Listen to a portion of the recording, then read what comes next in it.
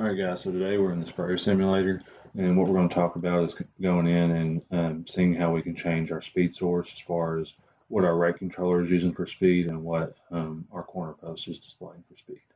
So we'll hit our menu button here, and we'll stay in machine settings. Scroll down and find our transmission settings, and then we'll go to advanced settings. And then here you see the rate control slash display speed. We can click in this box so right now we're selected for wheel speed, but we also have two other options, GPS speed, and then there would be a radar speed down here underneath it if we had a radar installed on the machine.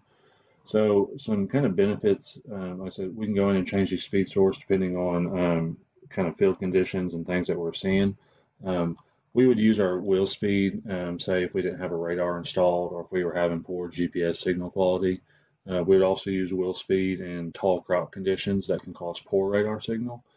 Um, and then if it, we really want to use wheel speed if we know there's not going to be any wheel slip involved with the application we're using. So if we have dry field conditions, we would stick with that wheel speed. Um, we'd switch it over to GPS speed if we're seeing a lot of wheel slip. And then obviously we, we could leave it on GPS if we don't have a radar. And then if we are if we are used to using radar, we can swap over to GPS if we get into those tall crop conditions. And then lastly, if we do have a radar installed, we would put it um, we would put it on radar speed if our GPS signal was degraded and if our wheel slip um, is occurring in the field. So um, just kind of gives you three options there depending on field conditions where we can go in and change the speed output. That way our rate controller can maintain a constant rate because it's seeing a constant speed.